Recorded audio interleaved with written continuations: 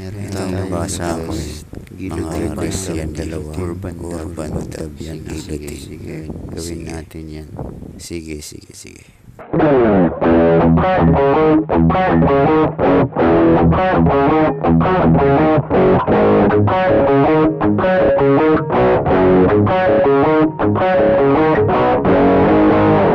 Intro muna tayo.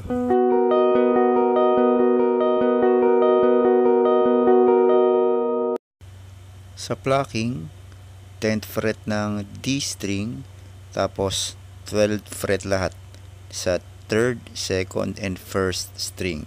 Plucking lang yan.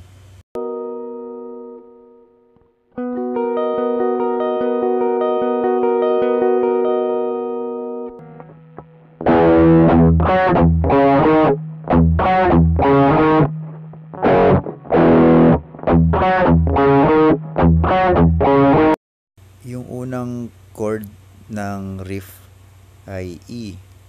Tapos palm mute yun, 'di ba? Ano yun? Third fret ng 6th string. Tapos yung mga notes niya, ah, fifth fret ng 4th string. Tapos 5th tsaka 7th fret ng 5th string. May mabilisang pasok ng chord F sharp yun. Tapos ulitin ulit yung riff. Yung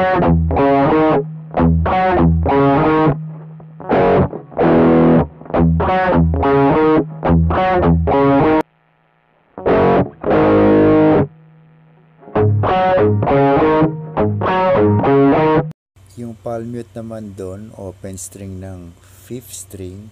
Tapos yung mga nota niya, 5th fret ng 4th string. Tsaka 5th, 7th fret ng 5th string. Yung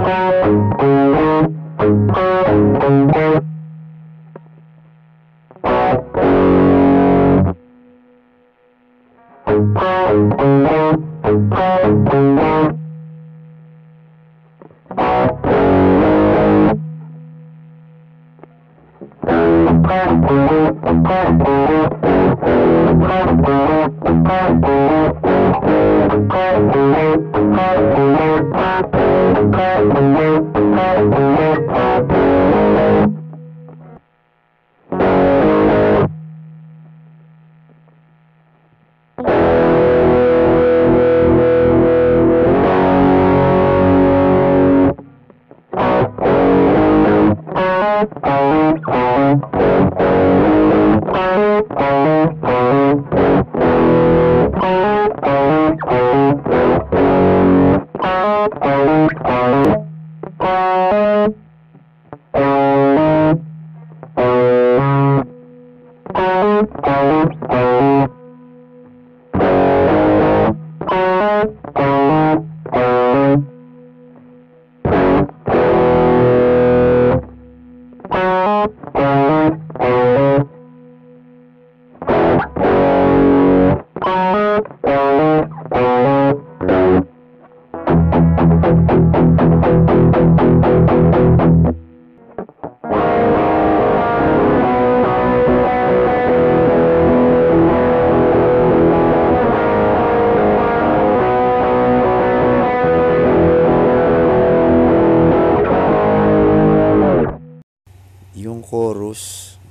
napansin nyo meron G sharp suspended second. Um, may note lang na dinagdag doon, yung second. Pero G sharp minor yon So, pakita ko. Yan, open string ng 5th string, second fret ng 4th string, fourth fret ng 3rd string.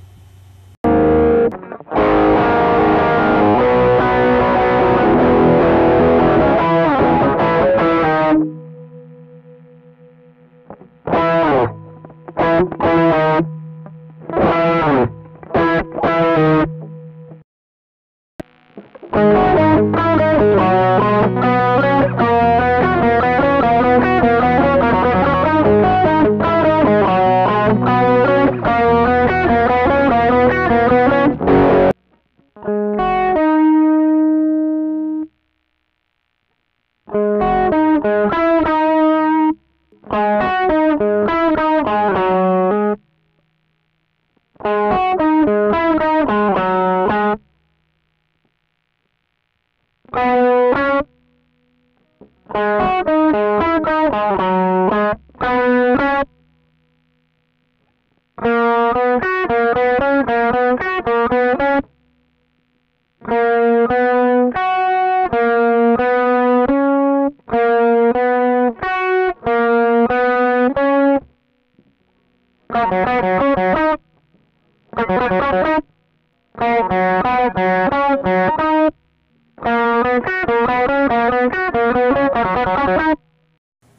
Second half, hindi mo na gagawin yun. Yung parang tinikling. Tenon, tenon, tenon, net. Ibis na ganon, magpapassing na lang yun eh. F sharp.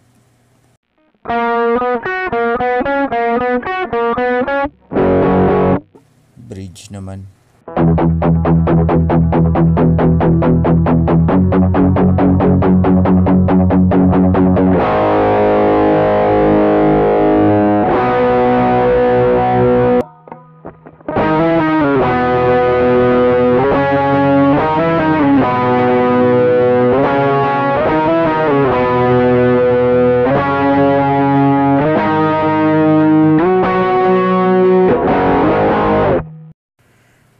Part na to, octave lang yung ginagawa ng lead.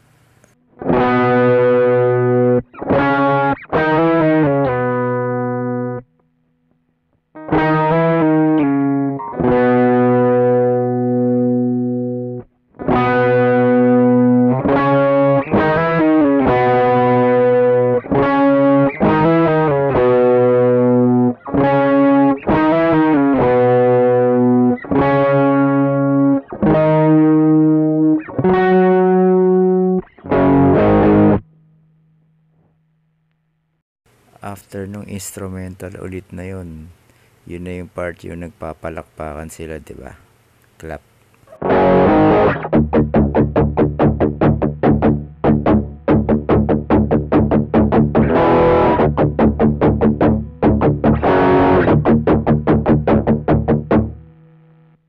Bagsakan, E F sharp.